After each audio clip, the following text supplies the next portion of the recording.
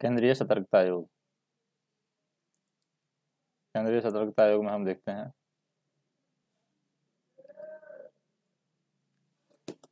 केंद्रीय सतर्कता आयोग। केंद्र सरकार में भ्रष्टाचार रोकने के लिए एक प्रमुख संस्था है, सेंट्रल विजिलेंस कमीशन। सन उन्नीस में केंद्र सरकार द्वारा पारित एक प्रस्ताव के अंतर्गत इसका गठन किया था, गठन किया गया था। भ्रष्टाचार को रोकने पर बनाई गई संस्थानम संथानम समिति, जो कि उन्नीस से चौंसठ की सिफारिश पर इसका गठन हुआ था। इस प्रकार मूलतः केंद्रीय सतर्कता आयोग ने तो सांविधिक है, नहीं संवैधानिक है। सितंबर 2003 में संसद के द्वारा पारित एक विधि के द्वारा इसे संविधानिक सांविधिक दर्जा है, दिया गया है। 2004 में केंद्रीय सतर्कता आयोग को सार्वजनिक हित, खुलासे एवं सूचना देने वाले सुरक्षा प्रस्ताव, public interest disclosure and protection of information resolution PIDPI के तहत सूचना दूध दूरने वाले, यानी विस्टल रोड से भ्रष्टाचार अथवा कार्यालय के दुरुपयोग के आरोप में के किसी भी प्रकार के खुलासे अथवा शिकायत प्राप्त करने या उन पर कार्यवाही करने हेतु अधिकरण बनाया गया। उक्त प्रस्ताव को विशल ब्लोअर के नाम से बेहतर जाना जाता है। आयोग के साथ ही ऐसी सशक्त एजेंसी बनाया गया। यह जानबूझकर दुर्भावना प्रेरित शिकायतों को स्वयं निपटा दे सीबीसी शीर्ष सतर्कता संस्थान के रूप में प्रकल्पित है, जो किसी कार्यकारी, प्राधिकार के नियंत्रण से मुक्त होगा। केंद्र सरकार के अंतर्गत समस्त सतर्कता गतिविधियों का अनुश्रवण करेगा एवं केंद्र सरकार के संगठनों को उनके सतर्कता कार्यों की योजना बनाने, कार्यान्वयन करने, समीक्षा करने, सुधार करने संबंध में विभिन्न प्राधिकारियों को सलाह देगा। संरचना किस तरीके से है? केंद्रीय सतर्कता आयोग एक बहु सदस्यीय संस्था है, जिसमें एक केंद्रीय सतर्कता आयुक्त यानी अध्यक्ष होता है, दो या दो से कम सतर्कता आयुक्त होते हैं। इनकी नियुक्ति राष्ट्रपति के द्वारा एक तीन सदस्यीय समिति की सिफारिश पर होती है। समिति के प्रमुख प्रधानमंत्री व अन्य सदस्य लोकसभा के नेता, विपक्ष के नेता व केंद्रीय गृह मंत्री होते हैं। इनका कार्यकाल चार वर्ष या पैंसठ वर्ष तक, जो भी पहले हो तक होता है। अपने कार्यकाल के पश्चात वे केंद्र अथवा राज्य सरकार के किसी भी पद के योग्य नहीं होते हैं। राष्ट्रपति केंद्रीय सतर्कता आयोग व अन्य किसी सतर्कता आयुक्त को उनके पद से किसी भी समय निम्नलिखित परिस्थिति में हटा सकते हैं। यदि वे दिवालिया घोषित हो गया है, यदि वह नैतिक चरित्रहीनता के आधार पर किसी अपराध में दोषी पाया गया हो, यदि वह अपने कार्यकाल में अपने कार्य क्षेत्र से बाहर किसी प्रकार के लाभ के पद को ग्रहण करता है, यदि वह मानसिक एवं शारीरिक कारणों से कार्य करने में समर्थ है राष्ट्रपति के अनुसार, यदि वह कोई आर्थिक व अन्य प्रकार के अन्य अन्य लाभ प्राप्त करता है, जो जिससे कि आयोग के कार्य में वह पूर्वाग्रह युक्त हो। इसके अतिरिक्त राष्ट्रपति, केंद्रीय सतर्कता आयुक्त व अन्य आयुक्तों को उनके दुराचरण व असंगतम के आधार पर भी उनके पद से हटा सकता है। इस स्थिति में राष्ट्रपति को इस विषय को उच्चतम न्यायालय को भेजना होगा। यदि जाँच के उपरांत उच्चतम न्यायालय ने आरोपों को सही पाता है तो उनकी सलाह पर राष्ट्रपति उन्हें पद से हटा सकता है।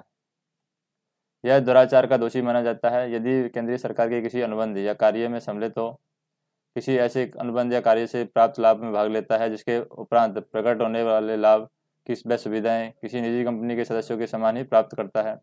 केंद्रीय सतर्कता आयोग के वेतन भत्ते व अन्य सेवा शर्तें संघ लोक सेवा आयोग के अध्यक्ष के समान ही है। सतर्कता आयोग के संघ लोक सेवा आयोग के सदस्यों के समान, परंतु नियुक्ति के उपरांत उनमें किसी प्रकार का लाभकारी परिवर्तन नहीं किया जा सकता।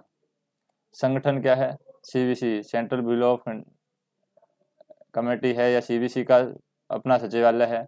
मुख्य तकनीकी परीक्षक शाखा है, सीटीई। विभागीय जांचों के लिए आयुक्त है सी सीडीआईएस। सचिवालय क्या है सचिवालय मुख्य सचिव, संयुक्त सचिवगण, उप सचिवगण व अवर सचिवगण व कार्यालय कर्मचारी होते हैं। मुख्य तकनीकी परीक्षक शाखा में, मुख्य तकनीकी परीक्षक शाखा में या संगठन में सीबीसी की तकनीकी शाखा में, जिसमें मुख्य अभियंता जिसका पदनाम मुख्य तकनीकी परीक्षण होता है वह सहायक इंजीनियरिंग स्टाफ होता है। इस संगठन में निम्न दिए गए कार्य निम्नवत हैं। सरकारी संगठनों के निर्माण कार्यों को सतर्कता, दृष्टिकोण से तकनीकी आकेक्षण निर्माण कार्यों में संबंधित शिकायतों के विशिष्ट मामले का अनुसंधान, सीबीआई को उनके ऐसे अनुसंधानों में मदद करना जो तकनीकी मामलों में संबंधित हैं या दिल्ली में स्थित संपत्तियों के मूल्यांकन से संबंधित हैं। सीबीसी या मुख्य सतर्कता अधिकारियों की तकनीकी मामले से जुड़े सतर्कता विषयों पर सलाह एवं सहायता प्रदान करना, विभागीय जांचों के लिए आयुक्त, CDI, commission for the department inquiries. जाँच अधिकारी के रूप में कार्य करते हैं। ये लोक सेवकों के विरुद्ध विभागीय कार्यवाही की मौखिक जाँच पड़ताल करते हैं। कार्य। केंद्रीय सतर्कता आयोग के प्रमुख कार्य हैं। केंद्र सरकार के निर्देश पर ऐसे किसी विषय की जाँच करना जिसे केंद्र सरकार व उसके प्राधिकारी के किसी कर्मचारी के द्वारा भ्रष्टाचार निवारण अधिनियम उन्नीस सौ अठासी के तहत कोई अपराध किया गया हो। निम्नलिखित श्रेणियों में संबंधित अधिकारियों के विरुद्ध किसी भी शिकायत की जाँच करना और जिसमें उस पर भ्रष्टाचार निवारण अधिनियम दो के तहत किसी भी अपराध का आरोप हो। भारत सरकार के ग्रुप ए के कर्मचारी अखिल भारतीय सेवाओं के अधिकारी या केंद्र सरकार के प्राधिकार के निम्न निर्दिष्ट स्तर के अधिकारी। भ्रष्टाचार निवारक अधिनियम उन्नीस सौ अठासी के तहत अपराधों की जाँच से संबंधित दिल्ली के विशेष पुलिस स्थापना के कामकाज की देखरेख करना। भ्रष्टाचार निवारक अधिनियम उन्नीस सौ अठासी के तहत अपराधों की जाँच से संबंधित दिल्ली विशेष पुलिस स्थापना को निर्देश देना। भ्रष्टाचार निवारक अधिनियम उन्नीस सौ अठासी के अंतर्गत किए गए अपराधों को विशेष दिल्ली पुलिस बल द्वारा की गई जाँच की समीक्षा करना, भ्रष्टाचार निवारक अधिनियम उन्नीस के अंतर्गत मुकदमा चलाने हेतु संबंधित प्राधिकरण को दिए गए लंबित प्रार्थना पत्रों की समीक्षा करना, केंद्र सरकार उनके प्राधिकारों को किसी ऐसे मामले में सलाह देना, केंद्र सरकार के मंत्रालय एवं प्राधिकरणों को में सतर्कता के प्रशासन पर नज़र रखना लोकहित उद्घाटन या सूचना की सुरक्षा से संबंधित संकल्प के अंतर्गत प्राप्त शिकायतों की जाँच करना, आयुक्त कार्यवाही की अनुशंसा करना केंद्र सरकार केंद्रीय सेवाओं एवं अखिल भारतीय सेवाओं से संबंधित सतर्कता एवं अनुशासनिक मामलों में नियम विनिमय बनाने के लिए सीबीसी से सलाह लेगी। केंद्रीय सतर्कता आयोग के अध्यक्ष होते हैं, दो निगरानी आयुक्त होते हैं, साथ में गृह मंत्रालय के सचिवगण, कार्मिक एवं प्रशिक्षण विभाग के सचिवगण, वित्त मंत्रालय के वित्त विभाग के सचिवगण, चयन समिति के सदस्य होते हैं। इनकी अनुशंसा के आधार पर केंद्र सरकार प्रवर्तन निदेशालय के निर्देशन को नियुक्त करती है।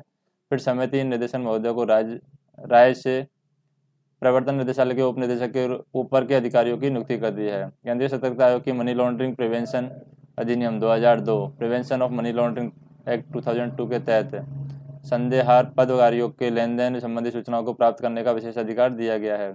2013 के लोकपाल और लोकायुक्त एक्ट ने केंद्रीय निगरानी आयोग आयोग एक्ट 2003 में और दिल्ली विशेष पुलिस स्थापना अधिनियम उन्नीस सौ छियालीस में संशोधन कर दिया है और केंद्रीय सतर्कता आयोग के कार्यों में निम्नांकित बदलाव किए हैं। तो क्या क्या बदलाव किए हैं कार्यों में?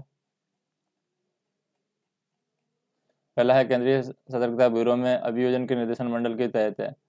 अभी योजन निर्देशन को केंद्र सरकार में केंद्रीय सतर्कता आयोग की अनुशंसा के आधार पर नियुक्ति होगी। केंद्रीय सतर्कता आयुक्त तो इनके अध्यक्ष होते हैं। दो सतर्कता आयुक्त के साथ ही गृह मंत्रालय में सचिवगण, कार्मिक एवं प्रशिक्षण विभाग के सचिवगण, चयन समितियों के सदस्य होते हैं। इन्हीं की अनुशंसा पर केंद्र सरकार केंद्रीय निगरानी ब्यूरो में पुलिस अधीक्षकों के पद पर अधिकारी नियुक्त करती है। केवल सीबीआई के निर्देशन का चयन अलग तरीके से होता है। आयोग लोकपाल के द्वारा समूह ए बी सी डी के अधिकारियों के विरुद्ध भेजी गई शिकायतों की प्राथमिकता की जाँच करने की शक्ति रखता है जिसके लिए आयोग जाँच निदेशालय स्थापित करता है। इस प्रकार मामलों में प्राथमिक जाँच की पड़ताल की रिपोर्ट समूह ए और बी के संबंध में लोकपाल को भेजी जाती है। इसके अलावा मैंडेट के अनुसार आयोग लोकपाल द्वारा भेजे गए मामलों की आगे की जाँच कर, करेगा। ये जाँच ग्रुप सी और ग्रुप डी अधिकारियों के बारे में होंगी। जाँच में दोषी पाए गए अधिकारियों को आगे की कार्यवाही के बारे में आयोग फैसला करेगा। कार्य क्षेत्र हम देखते हैं। केंद्रीय सतर्कता आयोग के कार्य क्षेत्र अनुसार अखिल भारतीय सेवा के बेस सदस्य जो संघ सरकार के मामलों से संबंधित हैं, केंद्रीय सरकार के ग्रुप ए के अधिकारी होते हैं।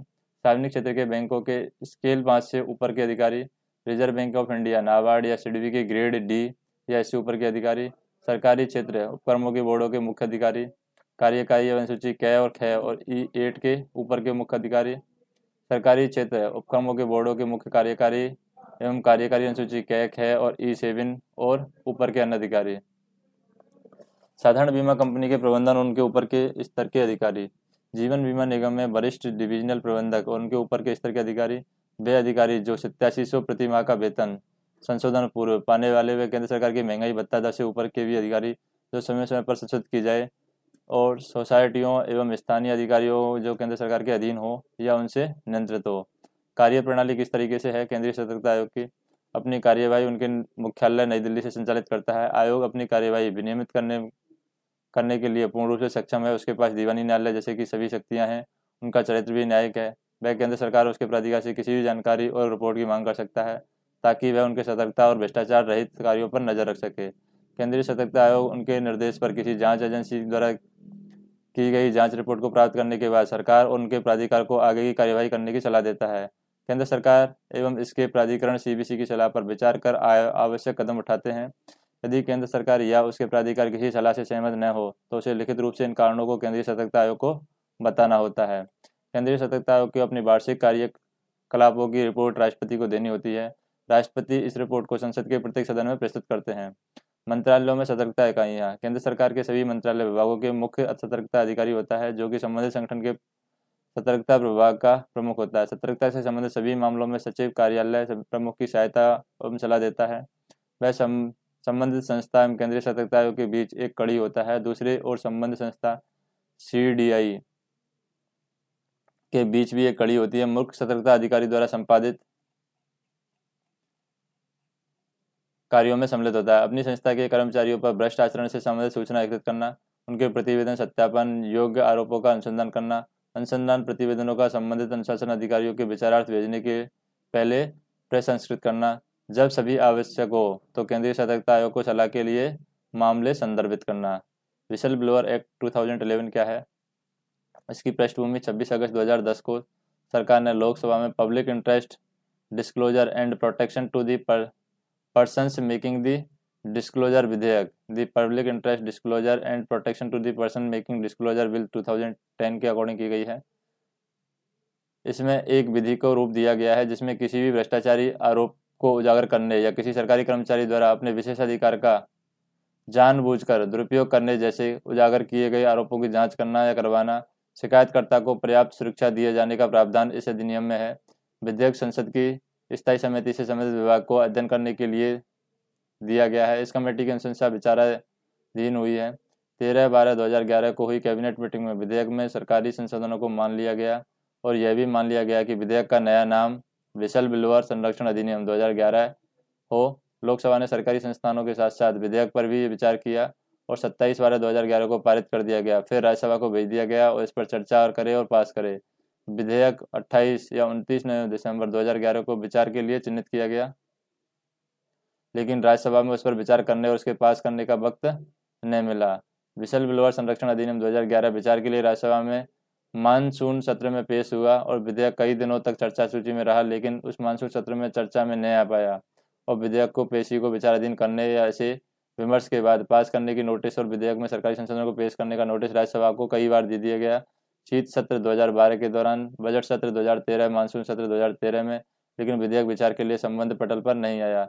संसद के शीत सत्र 2013 में विधेयक में सरकारी संशोधन उन पर विचार, उन्हें पास करने का नोटिस फिर से भेजा गया।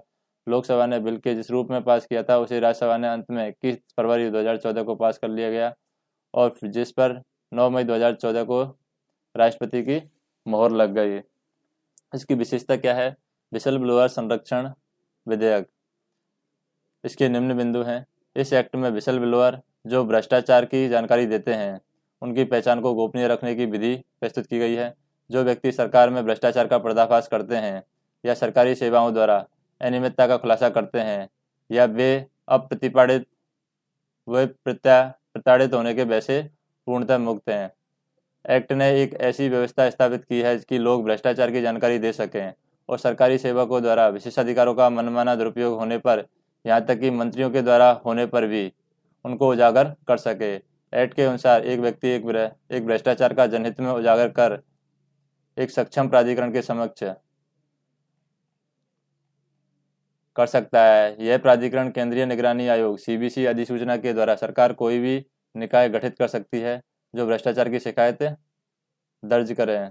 एक्ट के अनुसार आयोग गलत एवं दुर्भावना से प्रेरित शिकायतें पाई जाने पर शिकायतकर्ता को दो साल की जेल का दंड दे सकता है। साथ ही तीस हज़ार रुपये का जुर्माना भी लगा सकता है। एक्ट कहता है कि हर भ्रष्टाचार उद्घाटन को विश्वास विश्वासपूर्ण तरीके से करना चाहिए। जो व्यक्ति उद्घाटन करता है, उसे निजी घोषणा नहीं, घोषणा करनी चाहिए कि वह आश्वस्त होकर भी घोषणा कर रहा है। उसके द्वारा दी गई सूचना प्रमाणिक तौर पर सही है। उद्घाटन लिखित रूप में या ईमेल मैसेज के द्वारा भी हो सकता है। वह निर्धारित प्रक्रिया के अनुरूप हो सकता है। इसमें पूरी बातें हैं, साथ ही पुष्टि का कागजात और सामग्री भी होनी चाहिए। हालाँकि यदि कोई उद्घाटन उद्घाटन करने वाले के नामोल्लेख के बगैर हो, यानी कि शिकायतकर्ता या सरकारी सेवक का नामोल्लेख न हो तो कोई कार्यवाही नहीं होनी चाहिए। यानी शिकायतकर्ता का या सरकारी सेवा का नाम उल्लेख न हो तो कोई कार्यवाही नहीं होनी चाहिए। शिकायतकर्ता या सरकारी सेवा की पहचान प्राप्त न हो तो सही न हो तो भी कोई कार्यवाही नहीं होनी चाहिए। राष्ट्रीय सुरक्षा से जुड़ी सूचना को एक्ट के दायरे में बाहर रखा गया है। यह एक्ट जम्मू कश्मीर सेना एवं प्रधानमंत्री की सुरक्षा में लगे विशेष सुरक्षा बल एवं पूर्व प्रधानमंत्रियों की सुरक्षा में लगे बल पर लागू नहीं होता है। भारत सरकार द्वारा उन्नीस सौ बासठ में भ्रष्टाचार निराधक निवारण समिति का गठन किया गया। इसमें संसद के सदस्य एवं संस्थानम अध्यक्ष थे और चार सदस्य इनके सदस्य थे। इनके अलावा समिति दो वरिष्ठ अधिकारियों के सदस्य के रूप में नियुक्त किया गया है। केंद्रीय सतर्कता आयोग विधेयक को संसद के दोनों सदनों के द्वारा पारित किया गया है। राष्ट्रपति को मंजूरी इसे 11 सितंबर 2003 को मिली है। नेक्स्ट है।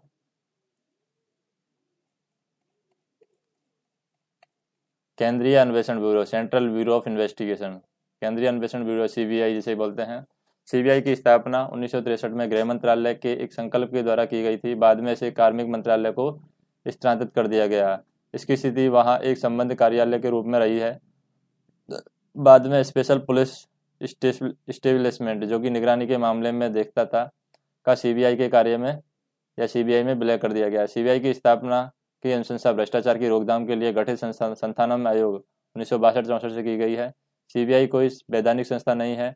इसे शक्ति, दिल्ली विशेष पुलिस अधिष्ठान अधिनियम उन्नीस सौ छियालीस से मिलती है। सीबीआई केंद्र सरकार की मुख्य अनुसंधान एजेंसी है। शासन, प्रशासन में भ्रष्टाचार की रोकथाम एवं सत्यनिष्ठा एवं ईमानदारी बनाए रखने में इसकी महत्वपूर्ण भूमिका है। यह केंद्रीय सतर्कता आयोग की सहायता करती है। सीबीआई के आदर्श वाक्य क्या है? उद्देश्य क्या है? दृष्टि क्या है? सीबीआई का आदर्श वाक्य है, उद्यम, निष्पक्षता एवं ईमानदारी। सीबीआई का उद्देश्य क्या है? संविधान एवं देश में कानून की रक्षा करना सीबीआई का काम है। इसके लिए गहराई से अनुसंधान करना, अपराधों को विफल, सफल अभियोग दायर करना, पुलिस बल को नेतृत्व दिशा निर्देश देना, कानून लागू करने में अंतर्राज्यीय एवं अंतर्राष्ट्रीय सहयोग बढ़ाने के लिए नोडल एजेंसी के रूप में कार्य करना। दृष्टि क्या है? अपने आदर्श वाक्य, उद्देश्य एवं व्यवसायिता की ज़रूरत, पारदर्शिता, परिवर्तन के प्रति अनुकूलन, अपनी कार्य प्रणाली में विज्ञान प्रौद्योगिकी के उपयोग के द्वारा सीबीआई अपने प्रयासों को निम्नलिखित पर केंद्रित करती है। सार्वजनिक जीवन में भ्रष्टाचार से संघर्ष